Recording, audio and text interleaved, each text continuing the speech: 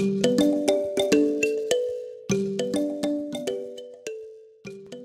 hello, everybody. Um, so welcome to the fourth webinar in a series of webinars on teaching at the right level. Um, many of you will be very familiar with the format from previous webinars, um, but for those of you who are new, uh, this is the fourth webinar in a seven-part series which looks at key components of Pratham's pioneered teaching approach. Um, thank you very much for, for joining us today. Um, today's webinar um, will be focused on teacher training, and we are lucky to have Radhika Bhula, who's a Senior Policy Associate at J-PAL Global, talking about some of the evidence on teacher training. We also have Usha Rane, who is the Director of Content and Training at Pratham, and Mira Tendolkar, who is the Head of Math Content at Pratham, who will be presenting for us today. Um, we, before we dive into those uh, presentations, let's just go over some of the kind of house rules for today's webinar. So the presentations will last um, approximately 40 minutes, and after the presentations, we'll have time for questions. So thank you very much to those of you who submitted questions in advance. Um, from this list of questions, we have selected some questions for a Q&A session at the end. Um, if you have questions during the presentation, you'll notice that you are all on mute, so please pop them into the chat box um, and we'll take a look at those too um, and direct them to the presenters if we have enough time during the Q&A session. Um, so with that, I think let's dive into the presentations with um, Radhika, who will present on evidence on the effectiveness of teacher training programs. Great, thanks Ashley. Okay.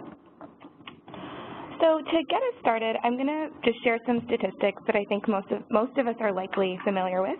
Um, we, there's been universal primary enrollment, but children don't seem to be mastering basic skills despite attending school. Over 80% of second graders in Malawi, India, and Ghana could not read a simple word, and over 60% of second graders in India, Uganda, Ghana, and Nicaragua were not able to com complete a simple two-digit subtraction problem. So these low levels of learning that we're seeing around the world could be linked to a variety of different factors, things like low school quality, student motivation, parent motivation, um, and then today's topic, of course, things like teacher performance and teacher effectiveness. And it might seem obvious, you see on the screen, I've written that teachers are crucial for student learning, um, but I think it's interesting to think about how important teachers are in the student learning process. So we have simple statistical associations, so just basic correlations from sub-Saharan Africa, which show positive relationships between teacher preparation and student performance. But of course, there are many other factors that we're not necessarily uh, controlling for that could be at play there. But there's additional research which corroborates this, this relationship um, from the United States, which shows that the difference between a weak teacher and a great teacher amounts to about a full year of learning for students. And then we have additional suggestive evidence from RCTs that teacher quality is important for student learning. So we have a handful of studies um, conducted in a, a, number of different contexts which show that incentivizing teachers to exert more effort, maybe that means attending school more, maybe it means teaching uh, more when they're in school, um, perhaps by tying bonuses to student test scores. These examples tell a pretty consistent story that when teacher, teachers are exerting effort, when they're um, having the tools to, to teach effectively, that students are learning more.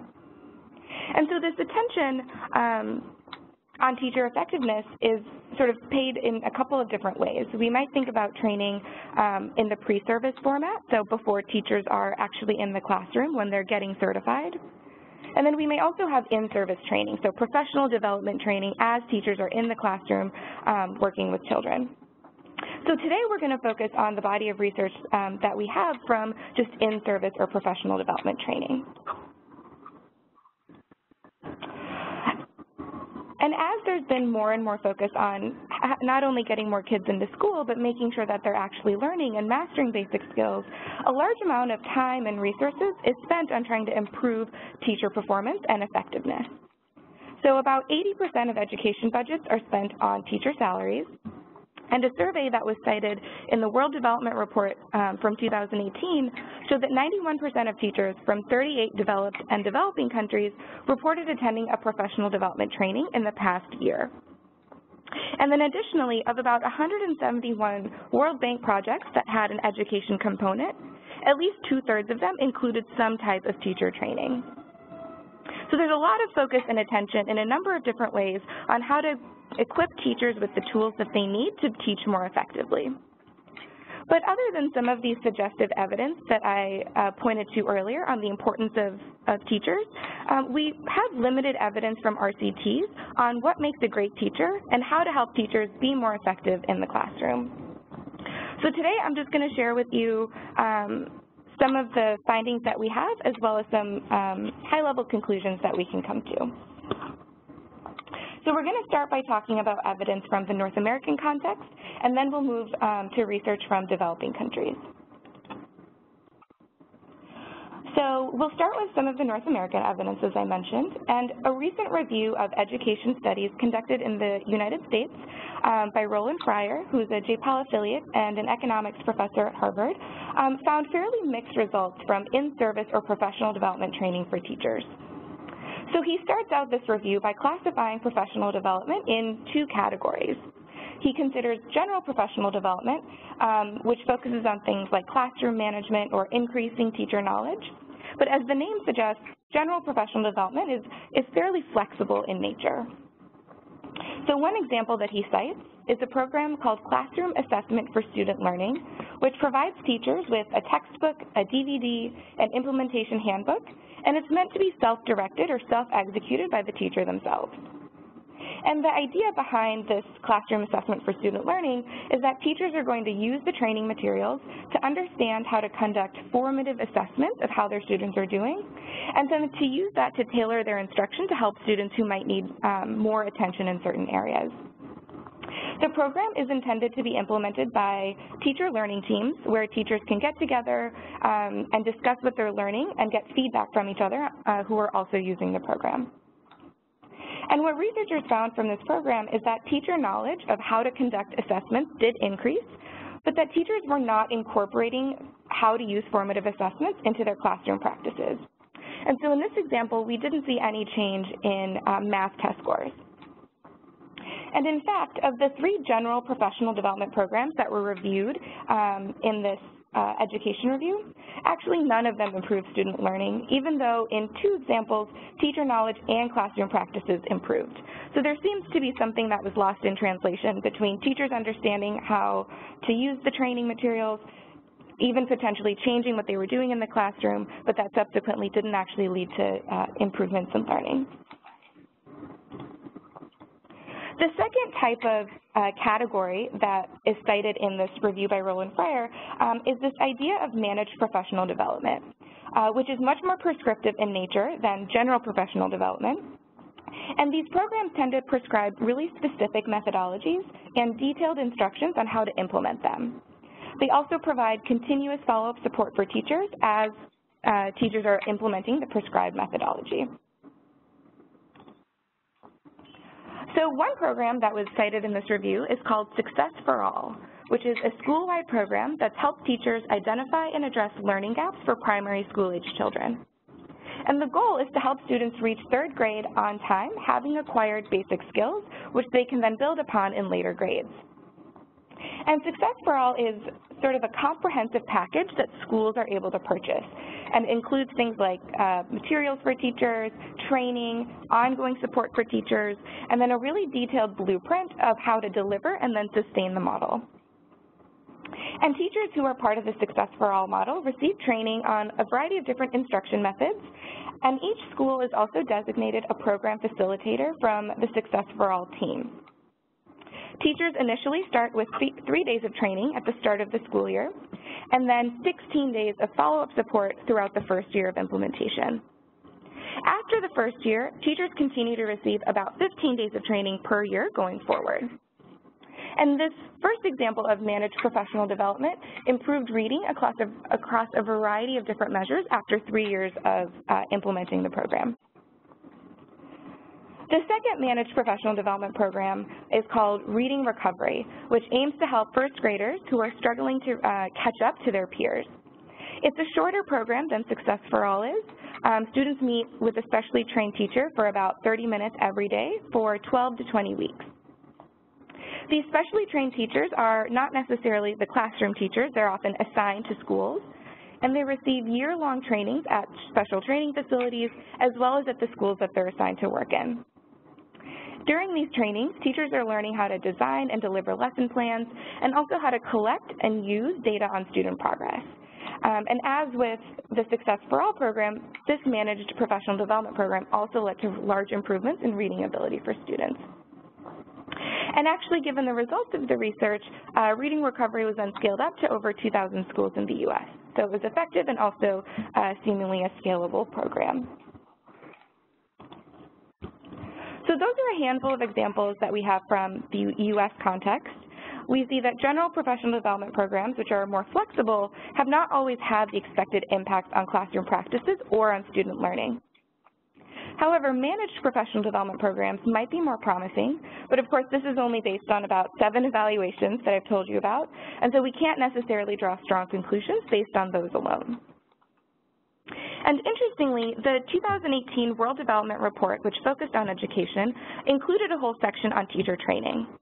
And one of the background papers for the report, um, the citation is on the slide, um, looked at a large body of evidence from both rigorous quantitative studies as well as qualitative research from high-income countries. And when they took this body of evidence together, uh, some of them were also the programs that I mentioned to you, they came up with a few key recommendations for effective teacher training. So the recommendations from the report suggest that teacher training is effective at improving student learning if the training is embedded in the curriculum, um, it prescribes a specific pedagogical method for teachers to use, including detailed instructions on how to implement it. Um, if teacher training includes a lot of follow-up support um, or monitoring for teachers, and that it involves teachers in a co-learning model. So as I mentioned, the studies that I talked about earlier and these recommendations are mainly based on evidence from developed countries.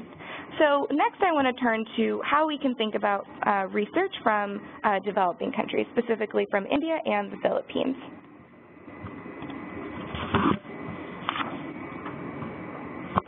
So this first program is called Continuous and Comprehensive Engagement, and it was implemented through the government of Haryana. And this CCE framework replaced high-stakes year-end exams with more frequent evaluation of student performance across academic outcomes as well as non-academic dimensions. And the idea behind this continuous and comprehensive engagement program was that by allowing teachers to monitor student progress at regular intervals, teachers could customize their lessons based on students' current learning levels. The hope was also to reduce pressure on students by giving them several opportunities to demonstrate their skills and improve their performance, as opposed to having one high-stakes exam at the end of the year. And the government of Haryana trained teachers uh, who were teaching grades 1 through 8 to implement this continuous and comprehensive engagement program. However, when you look at the monitoring data from the program, it seems that teachers didn't actually apply this methodology in the classroom. And not only did they not apply it, it seems that they, even though they attended the training, they may not have actually fully understood what they were supposed to do or how to go about incorporating this framework into their teaching. Um, perhaps it was complicated, perhaps they were unfamiliar with it, um, but kind of whatever that reason, they weren't using it, and perhaps unsurprisingly, we didn't see any improvements in test scores. So I'm going to spend now the next few minutes talking about a series of evaluations that JPAL-affiliated professors partnered with Pratham to conduct. And a handful of previous proof-of-concept evaluations have, had already showed that the pedagogical idea behind Pratham's teaching at the right level approach was effective at improving test scores. But to reach larger numbers of children and to take TARL to scale, um, JPAL-affiliated professors evaluated different iterations of teaching at the right level when Pratham was able to implement their program through state governments. And as you may have seen, a lot of these training programs have a lot of different components, and it can be difficult sometimes to sort of tease out which of those might be driving the effects that we see. And TARL itself also has various components. It has this interactive pedagogical materials um, that have been developed by Pratham. There's the teacher, training component, and then there's also the additional monitoring and volunteer support that teachers often receive. So researchers and Pratham wanted to test the effectiveness of each of these different components. So there was one program, it's not on the slide here, but one program where um, teachers were given just pedagogical materials um, and weren't given any additional uh, information on how to use them or, or additional support. And what that example found is that teachers did not regroup students during the day, and there were subsequently no improvements in learning.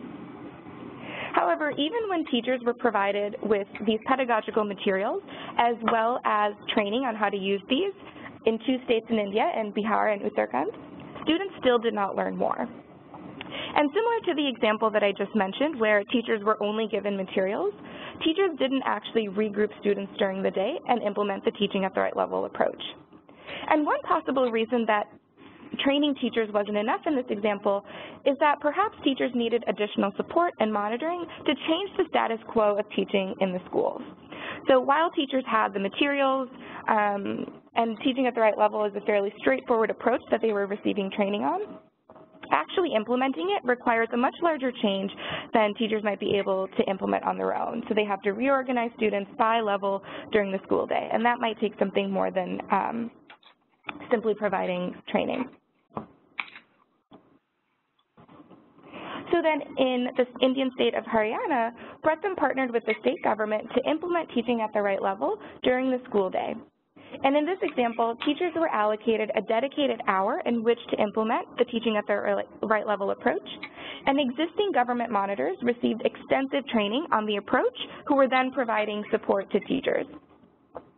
So these government monitors received about four days of training and, and additional days of practice in the field, in schools, to test out the Pratham methodology for themselves.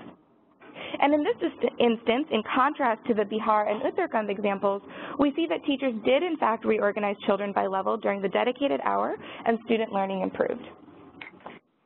And at J-PAL, we're in the process of conducting a review about 120 evaluations that are all trying to improve learning outcomes, uh, some of them by integrating different innovations into the school, into schools. And when we look across a number of these programs, one important component that we seem to see across effective programs is this idea of ongoing monitoring and mentoring even after teachers receive an initial training on the program. So this example that I just talked about from Haryana provides some further suggestive evidence of this, um, as does one additional program um, of a readathon program in the Philippines. So this month-long readathon provided level-appropriate storybooks and then trained teachers on how to engage children in daily activities. Uh, so things like storytelling, uh, literacy games, silent reading, um, those sorts of things. And the implementing NGO, SAS, also provided monitoring for teachers to make sure that the program was being implemented, implemented as expected, and then to also support teachers, answer their questions, and help them incorporate uh, the new books into the curriculum. And in this example, we see that higher uh, that fourth graders who were in the in the group that attended the readathon program, they had higher scores in reading than those students who didn't receive any kind of readathon program. And three months later, after the program had ended, we see that students were still reading more. But what's interesting is that once the program ended, the implementing organization, SAS, was no longer providing direct support to teachers. And when you dig into some of um, the monitoring data, it looks like the evidence shows that teachers implemented this new curriculum less often after the program ended, partly because they were no longer receiving additional support um, from the implementing organization. And subsequently, we see that the gains in reading had diminished slightly after teachers were not implementing it as often.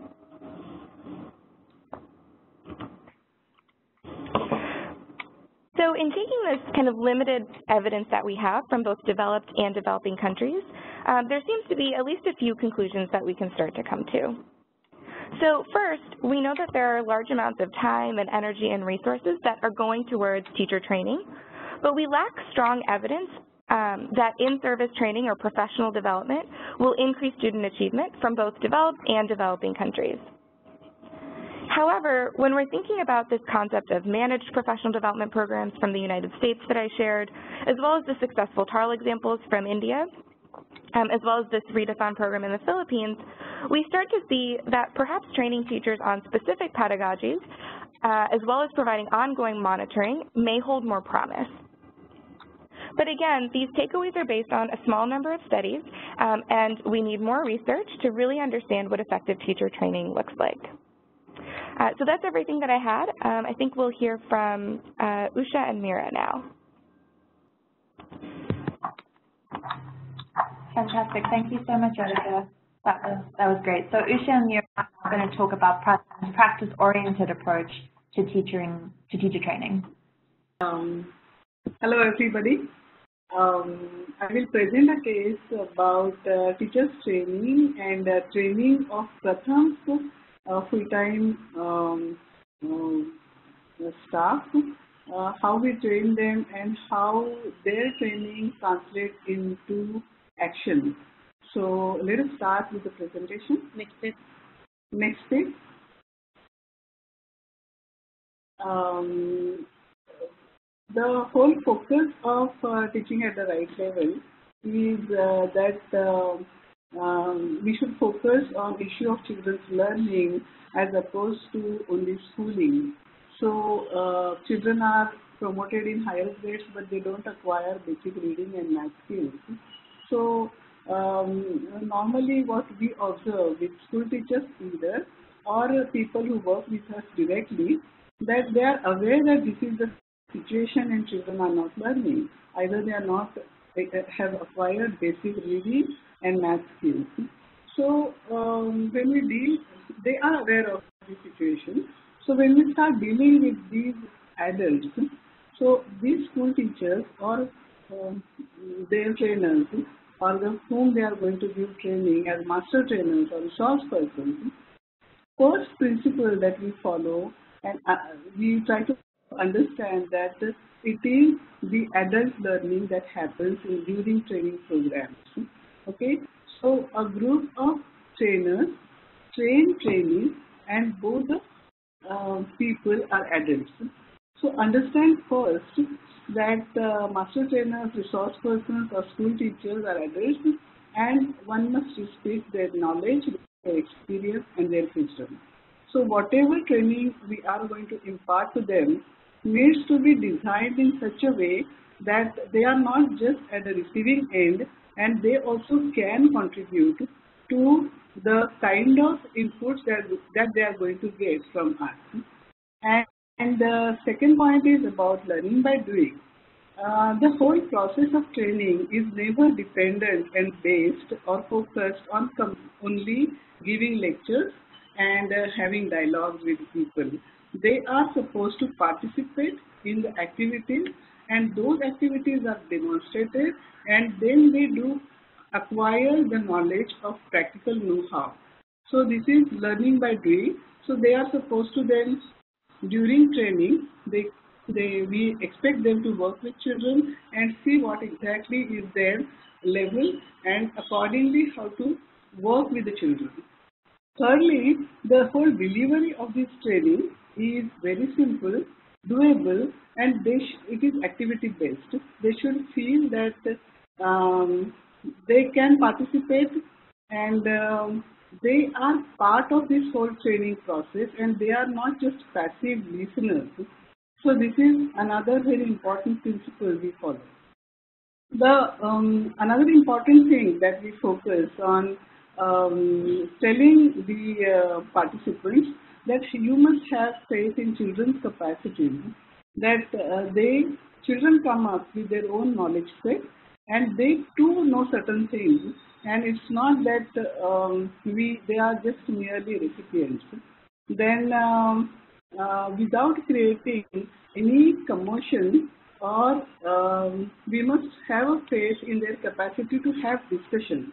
So giving free hand to the children is really very important and then you're the person who's dealing with the children should be um, should believe that they can handle independently certain things and they can do certain things independently with discipline.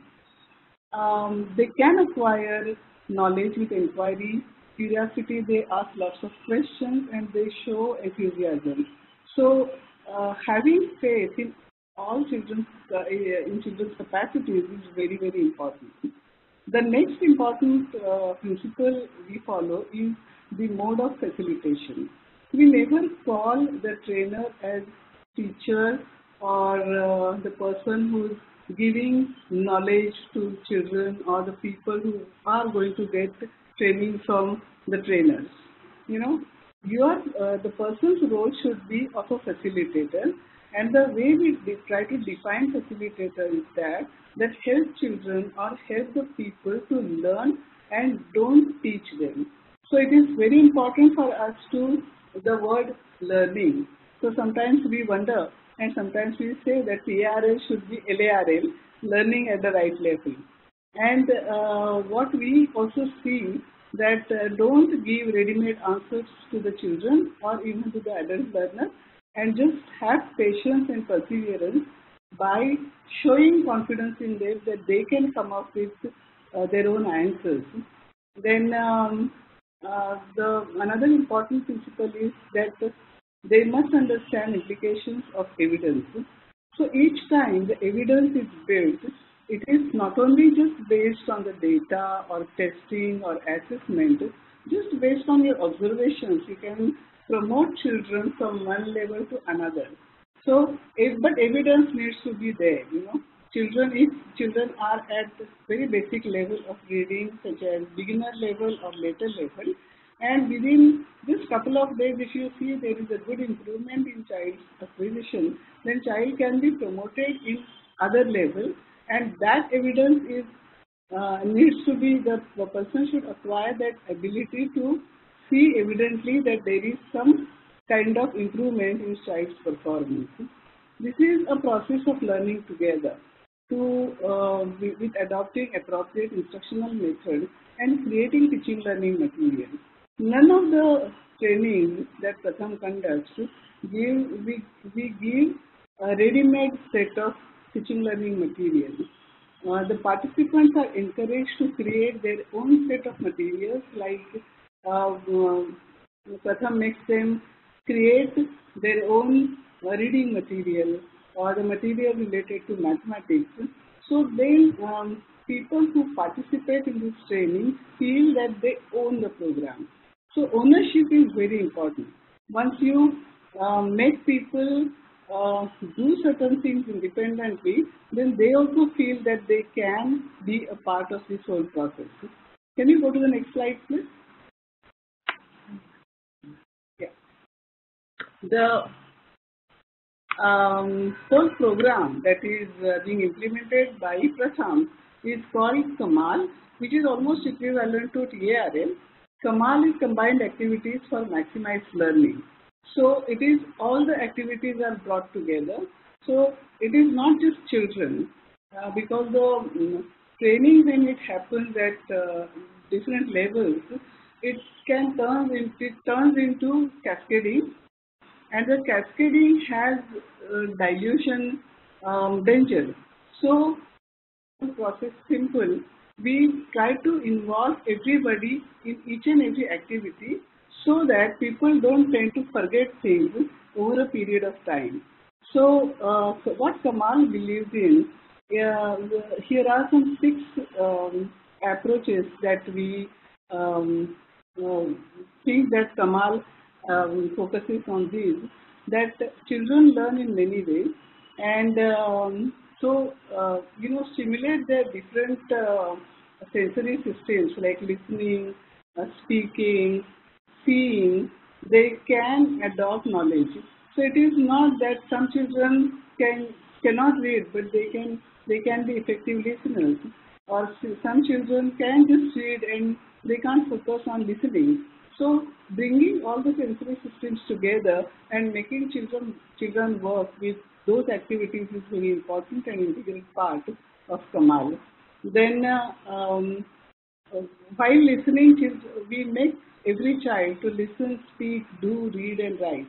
And all these five components play a very important role.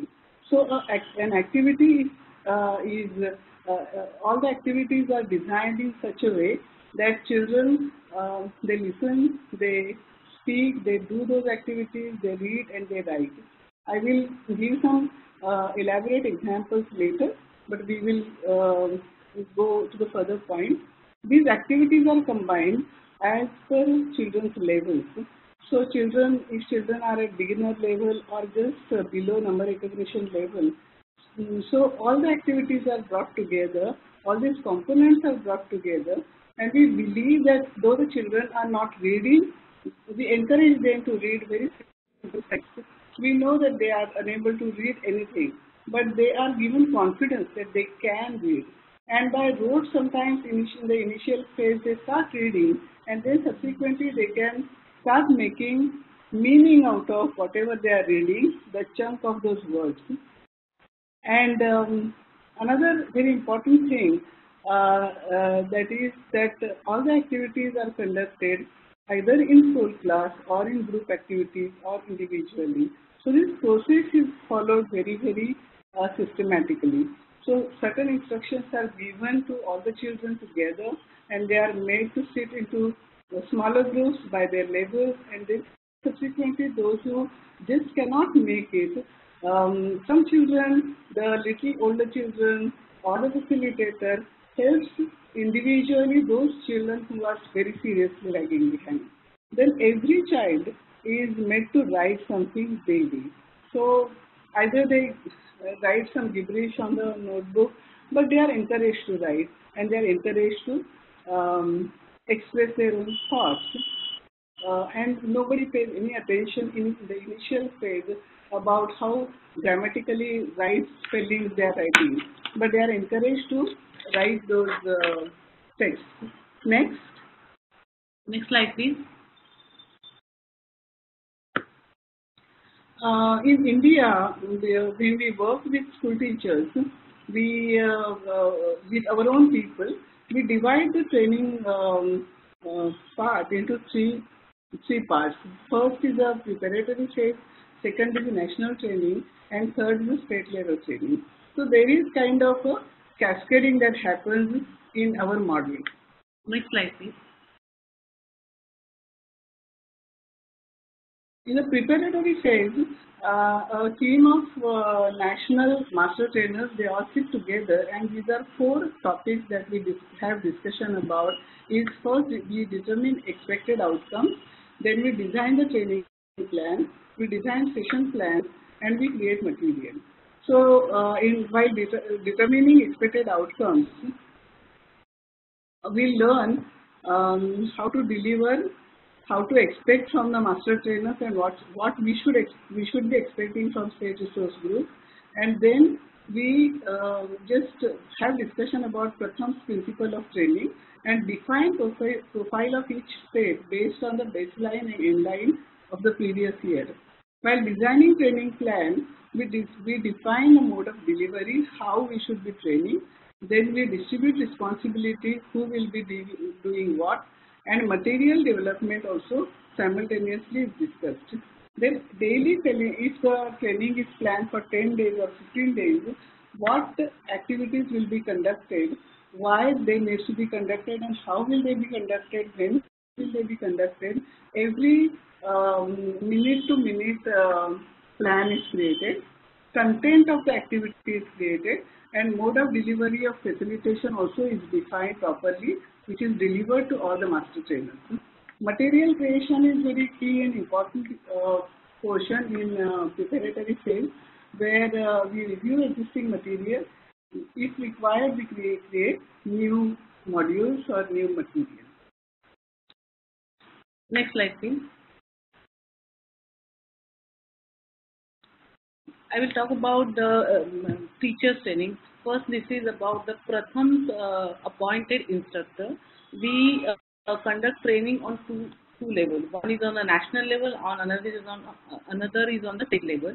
On national level, we um, uh, call all the uh, state we call them state resource team, and the people from the language and mathematics comes together on the national level and these are the people who had more experience working in the field. Uh, most of them uh, uh, work with Pratham for many years, and so uh, it is not like giving them only a um, training about the CAMaL, but also we talk about and we share a more experience what they had in the field. So all states come together. So it they get opportunity to work together, exchange their ideas together, you know, and talk about more uh, using uh, um, some theoretical aspects of the CAMaL, how and why we are doing CAMaL like this. So you know, so it is like giving them additional input about what is the CAMaL and what is the pedagogical principles related to the CAMaL that we actually give in a uh, training. Other than this, we also give them input about the um, how data to look. We have a, a separate team to do a monitoring, measurement and evaluation. That team which also uh, create the small data mock um, situations for them and the people who participate, the trainers, uh, trainees who participate in that training, we give them opportunity to talk about more about data. And after that, once they get all these things, they sit by uh, state by state to do the planning of their own training. Uh, on the state level training, they conduct training for the Pratham instructors and these are the paid staff of Pratham state resource group, uh, group conduct training for these instructors. Some of them, every year we get some newly appointed instructor. So we have to conduct training thoroughly for each and everything, like uh, how to mobilize um, uh, uh, the students in the villages, how to talk to the school teachers, how will you talk to the parents, how will you conduct um, assessment in the field, how will you interpret, how will you, you will do a grouping according to the um, data. And uh, of, course, uh, that is about uh, everything. Um, uh, will you go for next slide, please? And in government partnership, uh, here there are different levels. Like for government partner, partnership, we as a master trainer from the central uh, national level, we come together to for which uh, state we are going to do a training, what kind of objectives should be there, and the master trainer conduct training for the uh, government master trainers who will uh, deliver this training for their teachers on the ground level. And uh, this is how we go.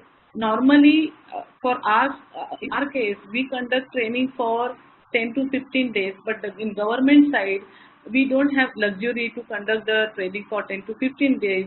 So it comes up up to win one week or uh, along with their own agenda. So for mathematics and language, sometimes we get only two two days. So on the basis of this, we ask them, we insist them that you have to conduct a practice class for um, at least for 15 to 20 days and then after we ask them to conduct the training of their teachers. So here first Pratham's person was very important to when they conduct training for master trainers of teachers, government teachers and then after their role get um, little lower but the master trainer's role uh, get more and more effective because they are supposed to give training to their teachers. And the topics we cover under is that what, about that is what is CRL, like CAMaL, why to conduct practice class because that is more important because teachers uh, most of the time they, they say that we don't want to conduct a practice class. So this is a very important thing. Why trainers can monitor the classroom effectively why basic skills like reading arithmetic need to be ensured because they always say that they have to work many things in the uh, uh, school. So we have to emphasize on the reading and uh, arithmetic basic skills. And we also talk about discussion and practice like assessment, activities, level-wise distribution of children and why it is important and creating reading and math material that that is the more thing that most important thing which we which we always do when we conduct teachers training. Uh, next slide, slide please. Yeah. Um, so I will discuss here in just few with uh, just few slides about what do we do in reading and arithmetic. So um, as you all must have, must have been knowing about the levels of the children. So determine first uh, what are the levels of the children and um, uh, then based on those levels, how to deliver activities. then uh, about uh, numbers, uh, what are the level children are distributed, um, then um, we all know children are familiar with the print, but uh, then uh, help them to acquire reading skill, build their confidence, help them to listen carefully and speak without imitation, encourage them to participate in activities under guidance with demonstration, to work with and then learn independently to read. So this is uh, in reading and arithmetic. Next, next slide please. Um, learning by doing is uh, applied even for uh, for the children. So they are not just again passive listeners, and they are supposed to uh, get engaged in different activities such as mind map, think about the words, talk about the words, write those words and sentences, do do loud reading and do independent mind reading. Then solving mathematics uh, mathematical sums. Uh, so while solving mathematical sums, we make sure that they, they are talking loudly about each step and then while solving the word problems, first they have discussion about the word problem, then uh, with the help of material, they follow steps and understand logic, both um, arithmetic logic uh, and the um, numeric logic of the solving those mathematical sums. So all the activities as I discussed before, listening, speaking, doing, reading and writing are brought together in each and every activity. So if one has to work with the children, the person who is going to work with the children, either a teacher or the person who is going to train to the school teacher, needs to be equipped with each and every of these steps. With information they learn that um, uh, what children learn is that while reading, they must move their fingers under each word. Uh, and this uh, demonstration, school teacher needs to give to the children or the volunteer needs to give to the children because normally uh, putting a finger under each word is not practiced in all the schools. But if you need to draw children's attention to a very minute uh, space of uh, um, uh, words, then their attention needs to be drawn to that. Um, uh, the aspects of these, uh, you know, understanding numbers, place values, and follow rules of solving operations, all these aspects are done together.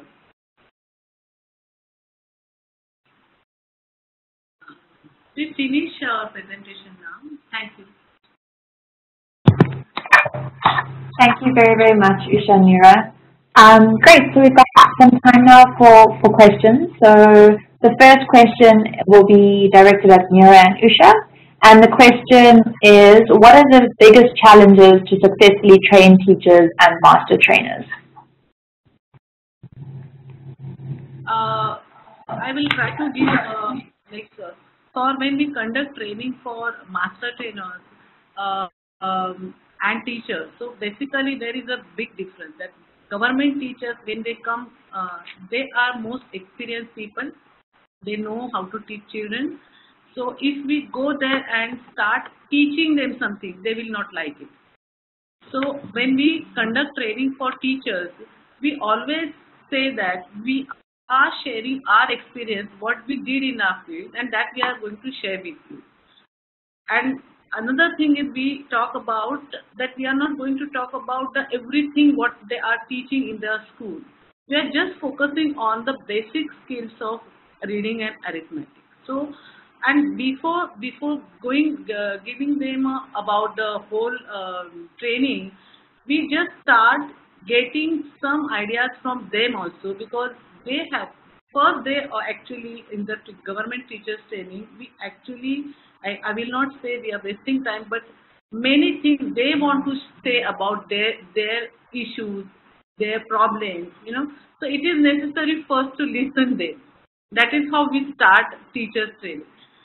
And in master trainers training, we actually have to do a dual, uh, we, we actually face a dual responsibility. Like the master trainers, yes, they are good in their um, uh, basic skills, but sometimes we also think that we have we have to give them a knowledge how you you have a knowledge about how to solve um, some, but how to explain it to the children or how to tackle with children, that is the most important thing we do with the uh, master trainer. That these are the two basic challenges we face and, uh, while we conduct training. Great, thanks, Mira. So the second question is for Usha, um, and it is, is there a pushback from teachers when government approaches and teaching at the right level approaches differ? And if so, how is this overcome? Uh, will you please repeat your question again? For sure. So is there a pushback from teachers when government approaches and teaching at the right level approaches are different? And if there is pushback from teachers, um, how do you overcome this in the training? Yes, there is, there are, there are those, uh, we face those issues when um, government approach is different than uh, teaching at the right level approach. So, uh, because, you know, it is, because they are adults and they have been doing whatever they have been doing as teachers in their schools, so they get quite used to it. So, uh, you know, under the circumstances, unlearning becomes really a major issue because they are used to doing something. And uh, it is quite obvious that if somebody, even somebody comes and tells me, you know, you do your work in this way and not in this way, then probably I also may not like it. But uh, um, making them understand what exactly is teaching at the right level is uh, very, very important. So what helps actually and triggers their interest is assessment, you know. And uh, as uh, as they all know that kids are lagging behind and they are not reading, but the moment you get into actual testing and making them understand the levels of children, then they know what exactly does that mean. Okay, so uh, when they distribute reading by five levels, so initially they may be saying that, oh, these kids are reading and these kids are not reading. But now they know for sure that, okay, these number of children are absolutely at beginner level and couple of them are, can just recognize few letters. That really helps them to understand. So assessment really plays major role. And uh, yeah, there are initial initial problems and there are initial oppositions from teachers, teachers unions, but then subsequently we overcome all those because uh, assessment can really play wonders. And then they understand why this needs to be done. And it is not just, uh, you know, uh, what teaching at the right level does. Teaching at the right level, what it does mainly and importantly, that um, it doesn't just show you the mirror and saying that, okay, your kids are at these, these, these levels. What TaRL does is that, that the moment you tell them that this is the situation, immediately it is supported by the, um, the treatment. Okay? So, both assessment and treatment goes hand in hand. And um, doesn't just become, it doesn't just become a research activity. So other than research, it really gives helping hand to school teachers. Okay, now you know that these kids are lagging behind. So what are you going to do about it? Let's try this. And then the activity starts, uh, the, the discussion on activity starts. Okay, great. Thank you very much, Usha. Um, so, Ryan, this is a question for you. Uh, what does it say about duration, frequency, and profile of trainers? Great. Um, so I think when we look at the body of at least RCT evidence, um, I don't know that we have direct evaluations that are asking these questions of duration and frequency and who the trainers are. Uh, but I think we can think about maybe some of the recommendations that came out of the World Development Report, um, which looked at both quantitative research as well as qualitative research studies. Um, and these seem to find that one-off workshops, like a one-time training, were less effective and that trainings that were embedded in the curriculum, so they were within schools so that teachers could get feedback on how they were doing, um, kind of on an ongoing basis so that they could raise concerns specific to their teaching curriculum. That kind of ongoing component uh, seems to be one of the key recommendations that came out of the World Development Report.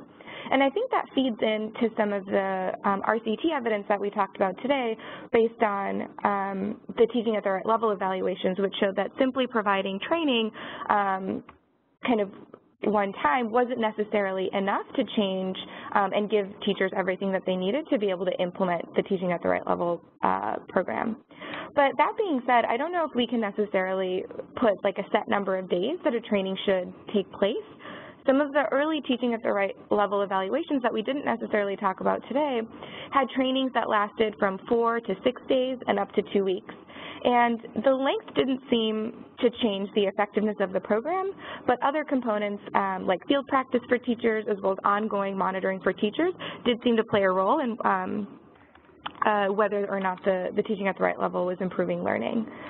Um, and then on this question of the profile of trainers, I, I really don't have too much information on that. I think none of the evaluations really looked at who these trainers were, um, comparing something like a cascade model to something else. Um, but I think one point to consider when thinking about training teachers um, is that it's kind of similar to this whole conversation we've been having today about teacher performance and how to help, teachers be more effective for student learning. Um, in the same way, who the trainer is and how they're conveying information is really important to make sure that the teacher is gaining the skills that they need. And so it's possible that there are lessons from like adult education that could apply here, um, but I don't have kind of specific evidence from RCTs that look at that question. Great, thanks so much, Radhika. Um, okay, next question, um, Mira, would be great to get your thoughts on. Um, and the question is, how do you maintain quality of training as more and more teachers are trained? So as teaching at the right level programs scale, how do you maintain the quality of the training?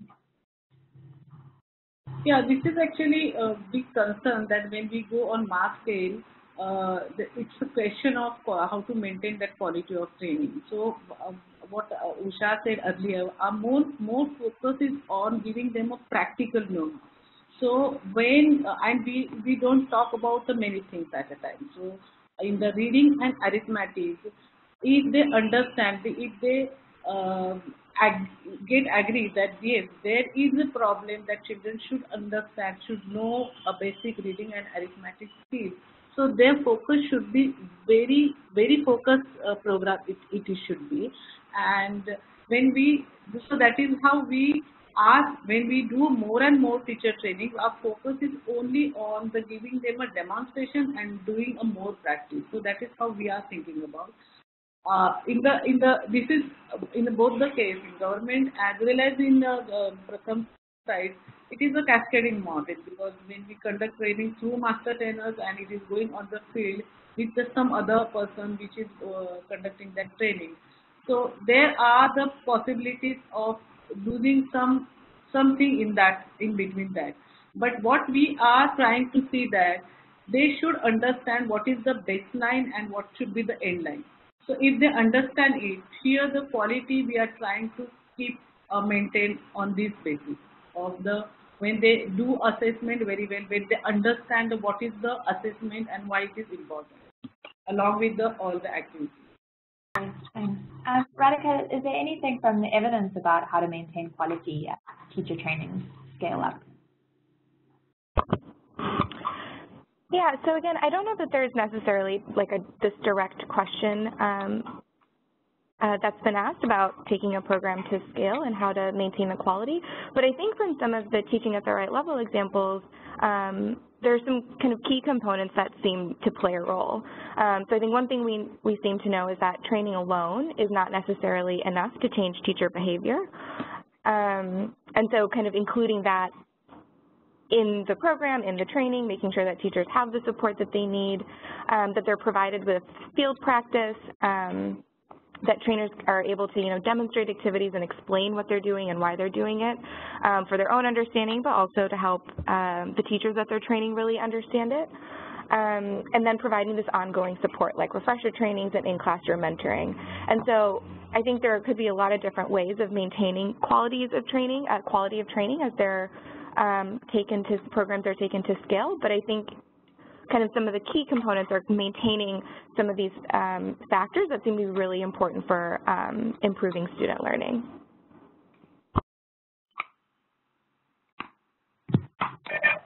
Um, Great. So maybe just one last question. Um, so this is a question about um, the transferability of the effective teacher training. Um, so this is a question for Usha and Mira, and I think what the question is asking is, if you train um, some teachers in a particular school, but not all of the teachers, do you think that those teachers being trained has an effect on the other teachers in the school who may not have directly been trained, but are now working in the same school as the teachers who were trained? So Usha and do you have any um, kind of thoughts or experiences on, on whether that's the case? Have because the, uh, the, teacher who's already trained under TaRL methodology uh, and if they practice very seriously uh, the method in their own classrooms, that teacher can become a model teacher or the for her class becomes a model class within the school premises. So, so in uh, most of the cases, wherever uh, such models we have created, uh, the, this person, this teacher becomes a resource person for other other teachers also, and uh, that is really helpful in uh, especially in the locations where cluster resource coordinator is unable to visit very frequently all the schools over a period of time. So creating, and if the schools are at distances, different, uh, far away from each other, then creating one model classroom in one school becomes really very crucial important. And this person can become a good resource person. This is number one.